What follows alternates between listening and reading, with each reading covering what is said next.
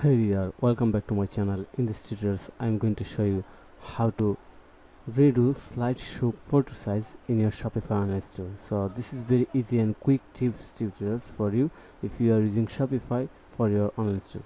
So let's get started.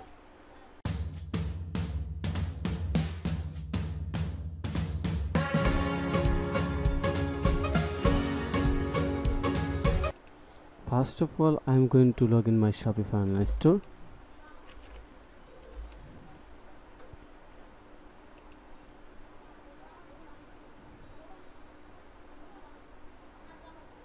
so this is my shopify online store dashboard and i'm going to open my website homepage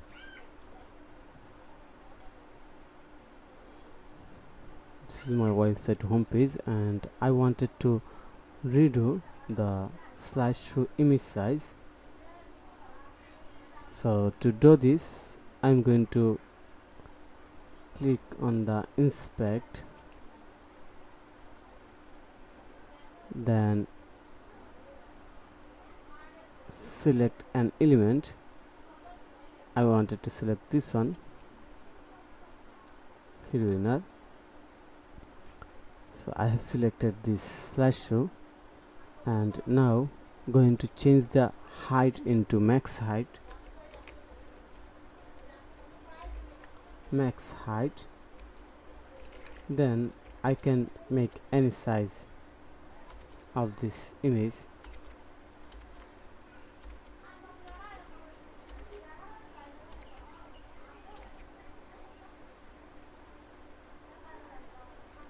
For example I want to make this size 250 pixel. And now I'm going to copy this rule and go to my dashboard again and click on the online store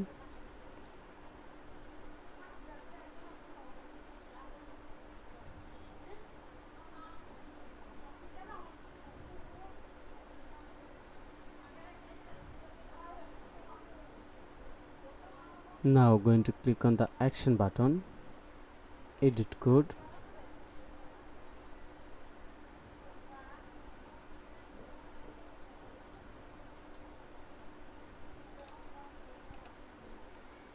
Open the css file.